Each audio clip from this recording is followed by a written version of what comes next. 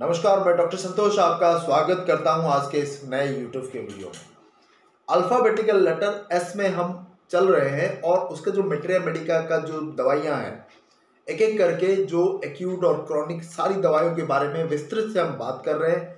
और आज का जो दवाई है, बहुत ही इम्पोर्टेंट है उन लोगों के लिए जिनको रेस्पिरेटरी प्रॉब्लम रहती है।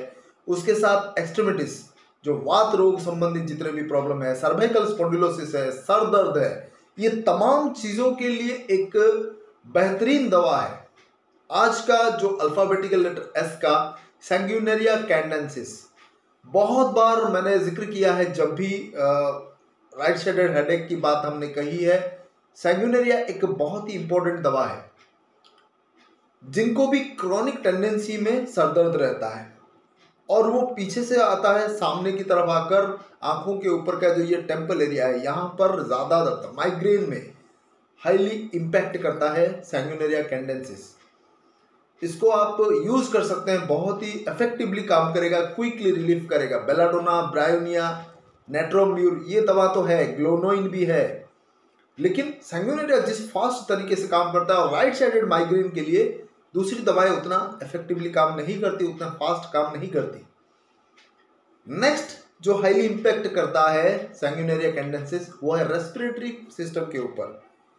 जो कफ होता है, वो लूज कफ होता है और अंदर जो बैक्टीरियल ग्रोथ हो चुका होता है, वो वलगम, सड़ा हुआ स्मेल आता है।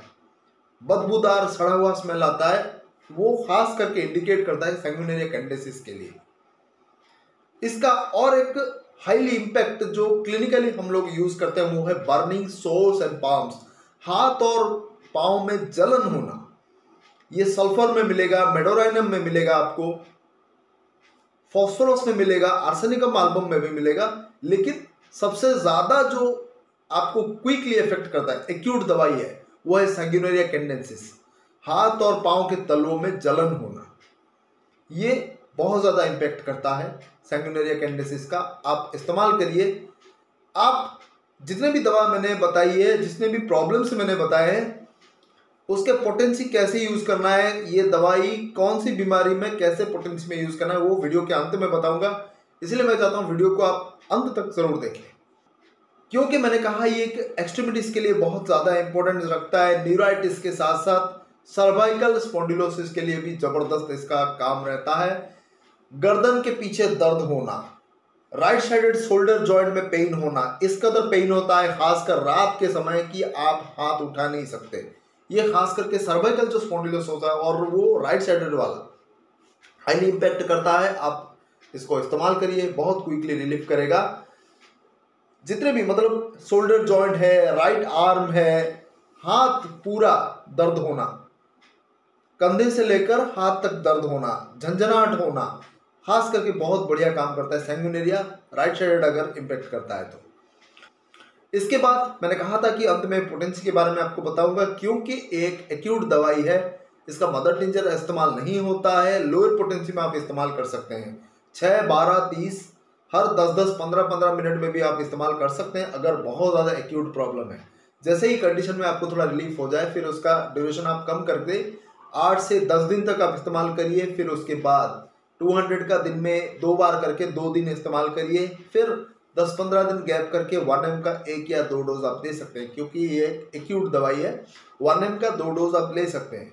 और ये जितने भी छः बारह, तीस तो दो सौ, फिर वन एम जो कि एक हज़ार पावर का है, आप दो तीन बूंद डायरेक्टली जीप पे ले सकते हैं, पानी में मिलाने की ज़रूरत नहीं है। अगर फिर भी आपको कड़ा लगे तो आप एक चम्मच पानी में मिलाकर ले सकते हैं। तो ये कॉमनली हो गया संगनेरिया कैंडेसिस का, जो क्लिनिकल टिप्स है या फिर की नोट पॉइंट्स है, ये आपको मदद करेगा इन सारी बीमारियों को जड़ से खत्म करने का।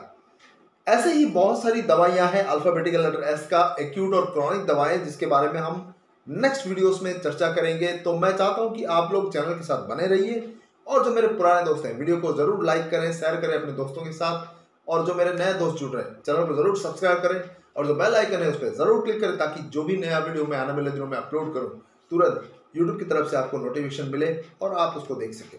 होम्योपैथी के बारे में जो प्रचार और प्रसार करना मैं चाहता हूँ, आप लोग उसका भागीदार बन सकते हैं। अपने दोस्तों के साथ ज़रूर शेयर करें मेरे सारे वीडियोज़ को। बहुत बहुत धन्यवाद। थैंक्स अगेन नमस्कार।